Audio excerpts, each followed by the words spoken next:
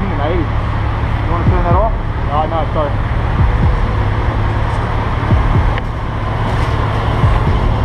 Yeah, I'm, I, I won't turn it off. Yeah.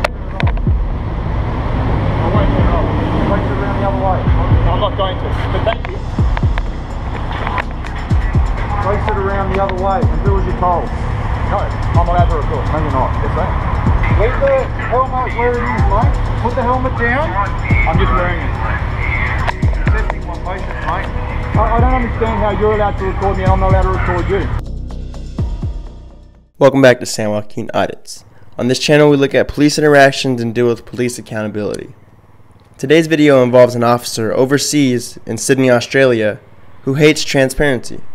It is brought to you by the channel It's Jay Just Jay. Be sure to give them the credit that they deserve. In this video, not only does this officer break traffic laws to pull this guy over, he doesn't even really give him a reason on why he's being pulled over in the first place. Instead, immediately directs all the attention to the fact that he's being filmed and tries to force him to stop. Why do you think that is? I personally believe it's to try and hide the fact that he's trying to extort this man of his money by giving him bogus tickets. Only he can't because the camera will document it all. Hello, mate. How you going? Not bad. You want me to pull over or what? Yeah, just stop there. Yeah, right, right.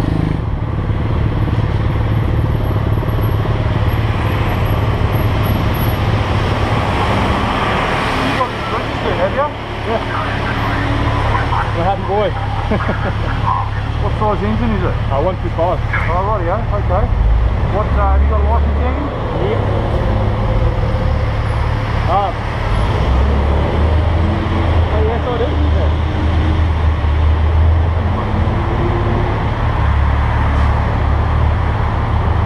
Thanks, Brad. You do a couple of things on the cycle. Up with a little bit of bicycle. What are you doing here in Sydney? Uh, I'm in the Navy. You want to turn that off? Oh, no, sorry.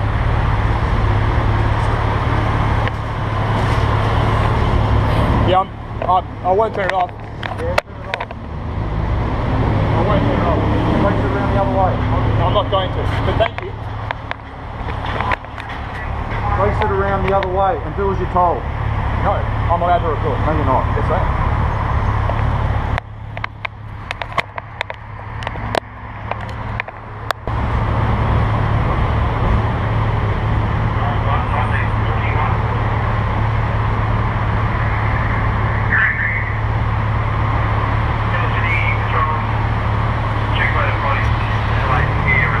Is there a reason you pulled me over? Yeah, breath test.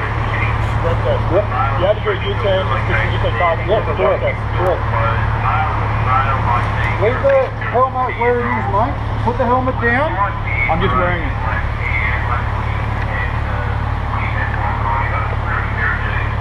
You're testing my patience, mate. I, I don't understand how you're allowed to record me and I'm not allowed to record you. How you're allowed to wear a helmet and be impolite, I'm, I'm not allowed to wear a helmet as well. I'm not being impolite, mate. As soon as I stopped you, I was nice as pie. Then when you started recording and moved your helmet and doing all this other stuff, I just that's when I start own- getting the No, I just do annoyed. it for my own benefit because I've been pulled over before for a stupid offence and I've been given a ticket that didn't even exist. Right, it, it didn't exist, it didn't happen just then. So I'm just making sure I don't get a ticket for something that I haven't done. Like, you, you can understand that, right? All I need is for one person to be upset and then I get a ticket for You're not helping the situation much.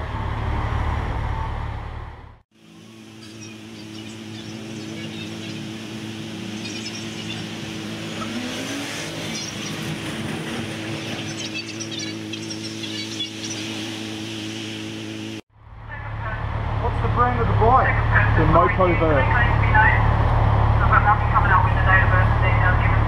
Don't, don't fiddle with it, you'll break it. Well, it's not really secure. Yeah, I know, I need to get another one. It, it is secure until you start playing with it. No, it's not. It's not secure. Was it secure when you pulled up? It's not secure. It's only held by one screw. Okay. But was it secure when you pulled up? It's not secure because I can move it. I'm not going to give you a ticket, mate, so you can relax. Yeah, I all know. right? But what I'm saying is... It, All I'm saying to you is it's got to be better than that. Otherwise, you're going to drive around, it's going to fall off. And then you're in trouble then. All right? All I'm saying to you is get another screw, Put another screw in there and that solves the problem. Alright. Okay? That's all I'm saying to you. Alright, all, all I was saying was don't fiddle because it will fall. See you later, mate. Have a good one.